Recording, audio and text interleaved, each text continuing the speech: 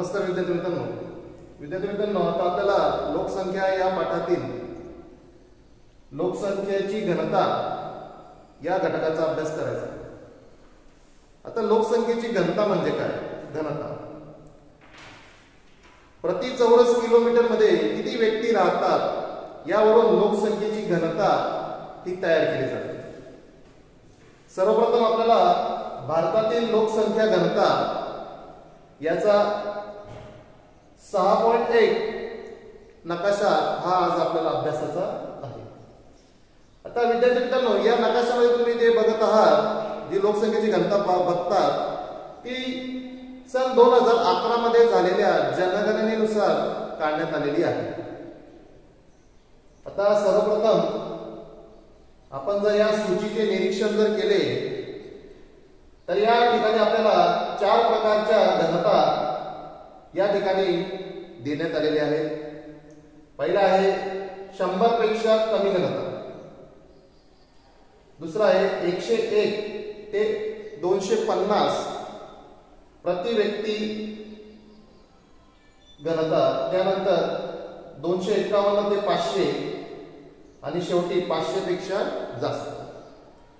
आता आपण या एक एक लोकसंख्येच्या घ- घनतेचा अभ्यासाचा आपण करणार आहोत.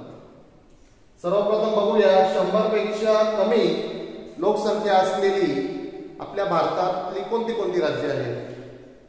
तर पहिलं आहे जम्मू काश्मीर हिमाचल प्रदेश उत्तराखंड सिक्कीम आणि अरुणाचल प्रदेश. हे हिमालय पर्वतामधील हिमालय पर्वत ज्या राज्यांमधून गेलेला आहे. अशा ठिकाणी आपल्याला कमी लोकसंख्येची घनता ही बघायला मिळते. यानंतर दुसरा प्रकार आहे एकशे एक ते दोनशे पन्नास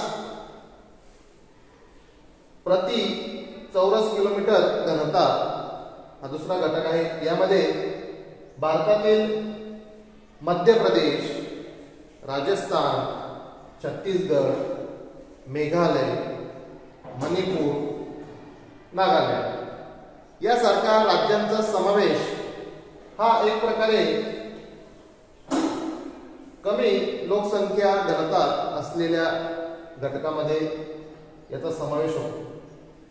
यानंतर तुमचा घटक बघूया. दोनशे एकावन्न ते पाचशे चौरस किलोमीटर घनता आता दोनशे एकावन्न ते पाचशे ही घनता साधारणतः मध्यम स्वरूपाची घनता समजली जाते.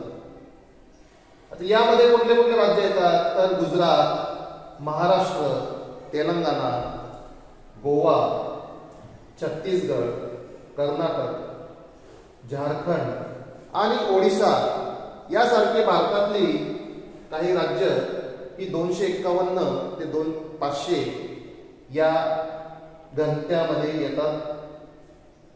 आता यातला शेवटचा घटक आहे पाचशे पेक्षा जास्त लोकसंख्येची घनता. आता पाचशे पेक्षा जास्त लोकसंख्येची घनता म्हणजे सर्वात जास्त लोकसंख्या असलेला प्रदेश.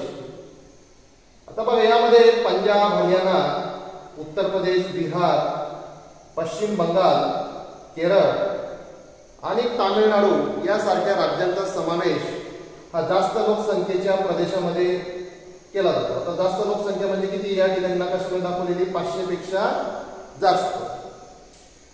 बघा आता विद्यार्थी मित्रांनो ही लोकसंख्येची घनता आपल्या भारतामध्ये असमान स्वरूपाची आपल्याला बघायला मिळते. आता याचे अनेक कारण आहेत. याच्यातलं सगळ्यात महत्वाचं कारण म्हणजे आपल्या भारत देशाची प्राकृतिक रचना. वेगवेगळ्या ठिकाणी असलेलं पर्जन्याचं असमान स्वरूप.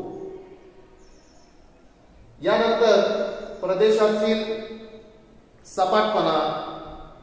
ज्या प्रदेशामध्ये सपाट भूभाग आहे शेतीसाठी चांगली मृदा ज्या ठिकाणी उपलब्ध आहे तसे पाण्याची उपलब्धता सुद्धा जास्त आहे अशा ठिकाणी लोकसंख्या आपल्याला जास्त बघायला मिळते. यानंतर आपण जो सगळ्यात सुरुवातीचा शंभरपेक्षा कमी म्हणजे अति विरळ लोकसंख्येचा जो प्रदेश बघितला यामध्ये जम्मू काश्मीर हिमाचल प्रदेश उत्तराखंड सिक्कीम अरुणाचल प्रदेश यासारखे हिमालय पर्वतात पर्वत रांगेमधले जे काही राज्य आहे या ठिकाणी लोकांना राहण्यासाठी प्रतिकूल हवामान त्या ठिकाणी असल्यामुळे त्या ठिकाणी लोकसंख्या ही आपल्याला कमी बघायला मिळते.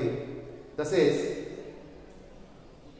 ज्या भागामध्ये उद्योगधंद्यांचा विकास चांगला झालेला आहे. वाहतुकीचे जाळे विस्तारलेले आहे. पाण्याची चांगली उपलब्धता आहे. शेतीसाठी योग्य अशी जमीन आहे. अशा भागामध्ये आपल्याला लोकसंख्या ही जास्त बघायला मिळते. या सर्वांवरूनच आपल्याला भारताच्या लोकसंख्येच्या घनतेचा अभ्यास हा करता येईल.